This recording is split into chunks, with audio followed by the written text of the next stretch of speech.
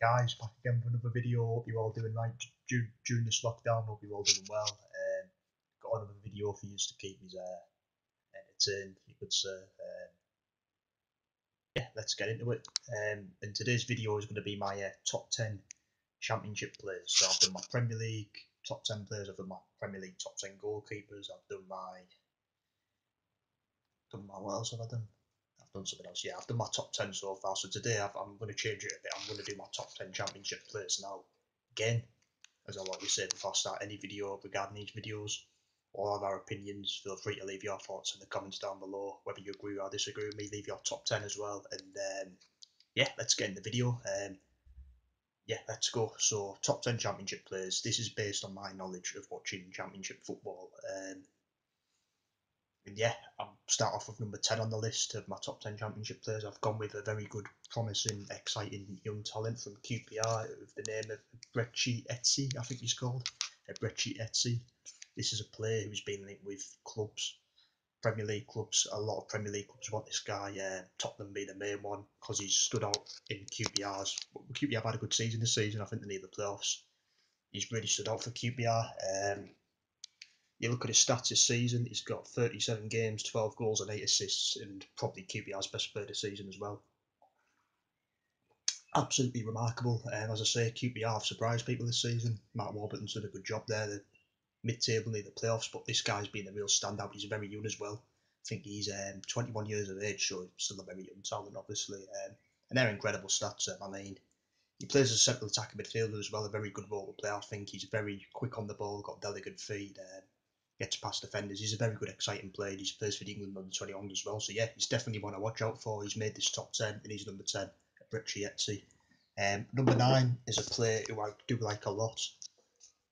People might be surprised I put him in my top 10, but I'm a massive fan of him. I think he's a fantastic player. I've gone with Lewis Wing of Middlesbrough.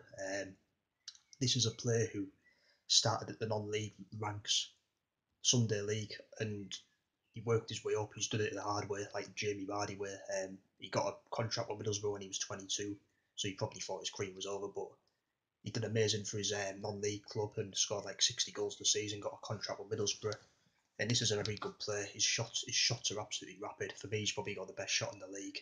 Scores a lot of long-range goals. Very good midfielder, box to box. Good pass of the ball. Good free kick take. And I'm a massive fan of him. Middlesbrough have been poor this season, but for me, Lewis Wing's been their standout player. And I think he'll have clubs sniffing after him, whether the Premier League clubs or top championship clubs. He's a really good player, and I think in a better team, he'd be even better. He's definitely been a standout player in what's been a poor season for Middlesbrough. Obviously, struggled near the relegation places this season. You look at Wing stats, he's actually Borough's top scorer this season from a midfielder, which is fantastic. He's got 34 games and 7 goals, very good stats. Um, what's been a poor season for Middlesbrough this season. Um, so, yeah, I put one in the list. People might not agree, people might go with someone else, but yeah, I put him in. Mm. Number eight, I've gone with a very good West Brom player in uh, the name of Matheus Pereira. Now, people might think you should have him higher up in your list. Yeah, probably so. Uh, he's been one of West Brom's best players this season. Obviously, West Brom sits second in the league. You look at this guy's stats are phenomenal. Um, I think we got him on loan, if I'm right in saying, from Benfica or somewhere, Portuguese club, but he's been fantastic. He's a young player. Um, he's got 33 games, 6 goals, and 16 assists. I believe 16 assists is the most in the league and they're phenomenal stats. Um, West Brom have had a good season. This guy's been part of it. Um, I believe he plays on the wing, if I'm right in saying. He's a very good technical winner, quick on the ball, pacey. Obviously, the assists it all. You know, he's obviously a good crosser of the ball. Um, yeah, fantastic player, and uh, he had to make his top 10 for me. Very good player. And you never know if West Brom get promoted, they might get him on a permanent basis. You never know, but yeah, he definitely makes this list for me. Uh, fantastic player. Number seven, I've gone with uh, a very good championship striker he has been for years, very prolific in this league. I've gone with uh, Lewis Grabban of Nottingham Forest. This is a player who's, you know, he's been a very good player in this goal scorer in this league for years. Um, he's obviously doing it for Forest now. Forest sit outside the playoffs, I believe. They've had a very good season in their standards. Um, but massively down to this guy. He's played 36 games, 17 goals. As I said, he's been a top championship striker for years now. He's obviously getting better. He's doing it every season still. He's near the 30s as well now. I think he's 31 or something, but yeah, still keeps on doing it. And Forest are high in the league because of this guy's just an out and out goal scorer, as good as a striker as you get in this league. And yeah, put Lewis Grabban in seventh. Number six, I've gone with a player I really, really like um, at this level. For me, on his day, I don't think there's a better player in the league. on his day, and that's Pablo Hernandez of Pablo Hernandez of Leeds United. This is a player who's 35 years old now, I believe, 36, but he's still a fantastic player. And Leeds sit top of the table, and this is down to this guy. He's absolutely fantastic. He's, a, he's as good as a midfielder you get in this league, I think. Very good passer of the ball, very good shooter, very technical. He's like a championship David Silva, I call him. He's that type of player. He's Spanish as well. Drifts past players, very small player, but he's very good on the ball. And yeah, Leeds again. Leeds have had a fantastic season, sit top of the league. Massive, yeah, with this guy when he plays. He wins games on his own. He's like controls at midfield, and yeah, he's a very good player. I like him at this level, and uh, he's been good at this level for years. Massive fan of Pablo Hernandez. He's a quality player. He's good at Swansea as well. Um, yeah, number five, I've gone with another Leeds player, um, Ben White obviously I made a video about this guy um, talking about him where I said he's one to watch out for. Um, 100% he is. For me, he's been the best centre back in the league this season. Well, obviously I put him in this list, so he's got to be a what a fantastic young, promising centre back, and he's English as well.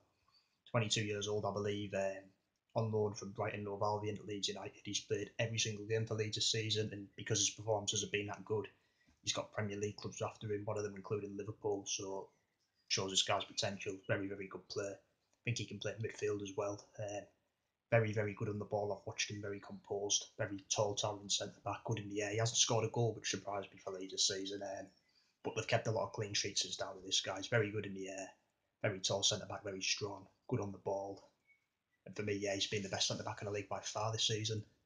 Massive part of Leeds' success, and this guy's got Premier League clubs after him. So yeah, I had to put him in my top ten. So number five, I've gone with Ben White. Number four, um, very massive, massive fan of this player.